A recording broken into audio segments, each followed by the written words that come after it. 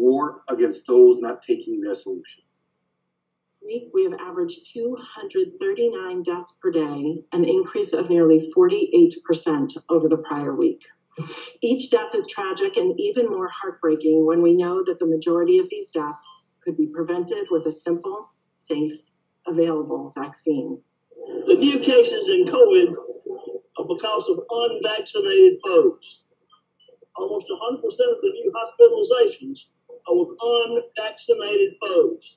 And the deaths are certainly occurring with unvaccinated folks. These folks are choosing a horrible lifestyle of self inflicted pain. besides, you know, this emotional fee you just gave us, what is it going to take to get people to get shots?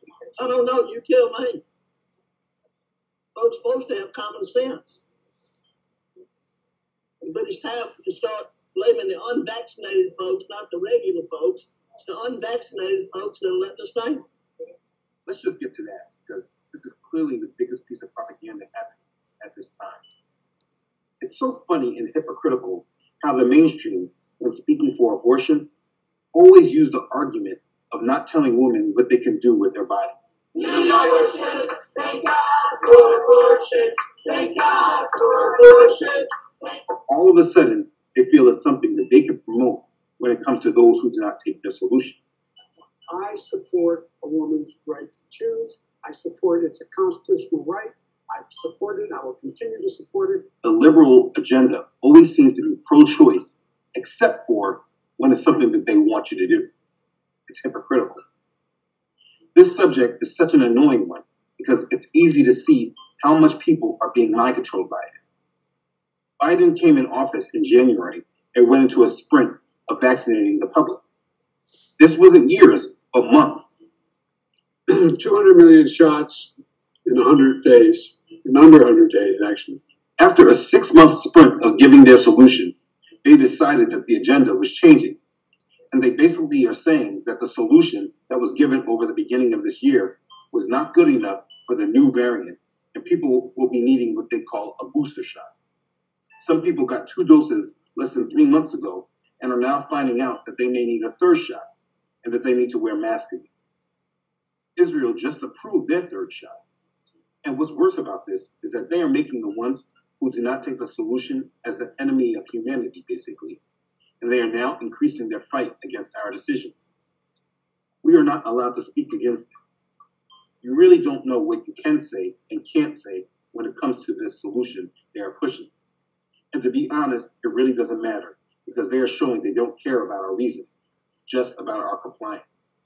So they are moving with the next round, which is pushing the mandatory vaccinations.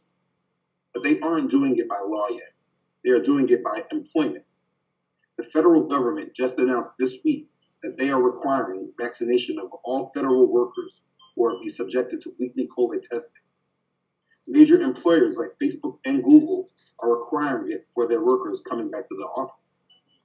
In California, drastic action is being considered. And with the new push to get more Americans vaccinated as the nation's top infectious disease doctor warns, the U.S. is moving in the wrong direction. Now, local governments are taking matters into their own hands. We actually learned today that New York City will require all 400,000 city workers to get shots or face weekly testing. And California will begin checking proof of vaccination for all of their state employees. And then the Department of Veterans Affairs became the first federal agency to require vaccinations for its healthcare workers. And there is some positive news. Vaccinations are up nearly 14% in the last week, meaning the message that the shots could help stop the spread of the highly contagious Delta variant might be working. Those who are unvaccinated or decline to provide the requested documentation will be subject to regular testing and have to wear masks while working indoors. Across the country, restaurants are declining patrons who are unvaccinated. It's no vax, no service. no shirt, no shoes, no service. Well, you've seen those signs, no doubt. How about another one? Sign of the times. No vaccination card, no service. World the. Okay, now while we are being distracted by this COVID news, this is happening right under our noses. The masses are not being fully told about this, but yet every day things seem to be increasingly elevated. There is nothing but war drums rattling, and they are telling us we are going to war without being so direct. The beginning to World War III is on the horizon. It's like they are waiting for someone to make the first major move to declare full out war. Based on the narrative they are giving us, it looks like the war will start with what happens in Taiwan. But the United States will undoubtedly be brought in. President Xi Jinping making a veiled threat against the United States, warning that his country will not be bullied by foreign adversaries, saying that any threats would be met with a quote, great wall of steel.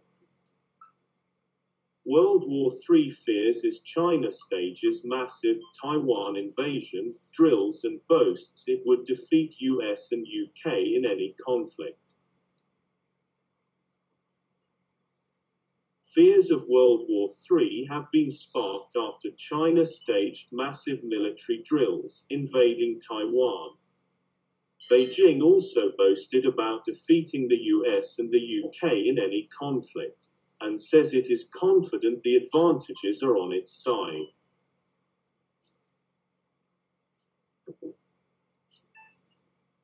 The latest drill includes assault landings and island control exercises in a bid to demonstrate the communist state's military might.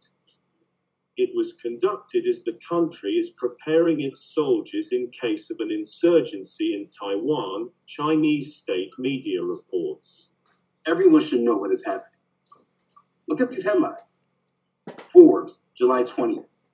The U.S. Air Force is sending dozens of F 22 stealth fighters to practice for war with China.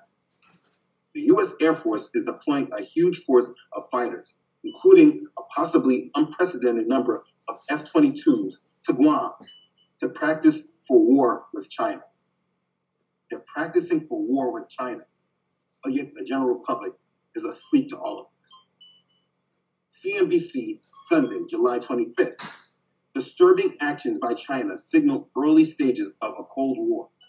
Economist Stephen Roach warns. Remember, this is the same man who was predicting a dollar collapse. Again in Forbes, Tuesday, July 27th. Thousands of ships, millions of troops. China is assembling a huge fleet for war with Taiwan.